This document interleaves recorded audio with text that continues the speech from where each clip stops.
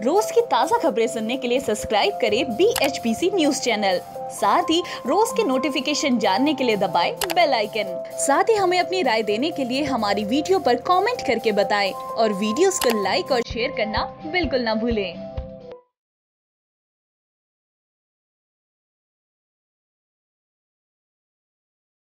भारतीय टीम का जाना माना चेहरा और एक तरह से लकी चाम से जाने जाने वाले महेंद्र सिंह धोनी के रिटायरमेंट पर हर जगह बातें हो रही हैं।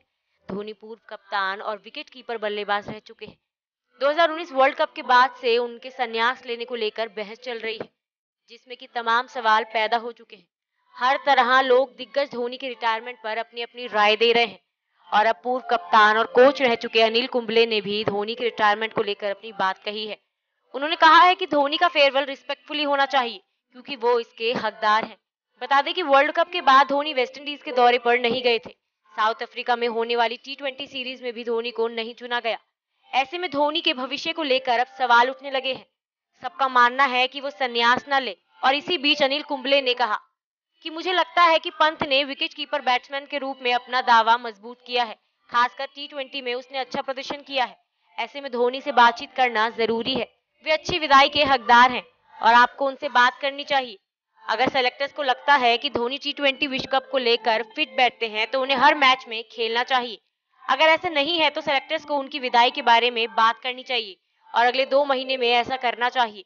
वर्ल्ड कप के बाद धोनी के संन्यास को लेकर काफ़ी बातें हो रही हैं। पिछले कुछ समय से वो फॉर्म में नहीं है। वर्ल्ड कप के बाद से उन्होंने कोई सीरीज़ नहीं खेली है। वर्ल्ड कप भी परफॉर्मेंस के लिहाज से उनके लिए बहुत अच्छा नहीं रहा। और ऐसे में उनकी रिटायरमेंट को लेकर काफ़ी चर्चाएँ हो रही हैं। फैंस काफ़ी इमोशनल हैं, धोनी को लेकर, जिस तरह से उनका प्रदर्शन रहा है। तो उनको भी सीरीज़ टी ट्वेंटी सीरीज़ में चुना जाना चाहिए।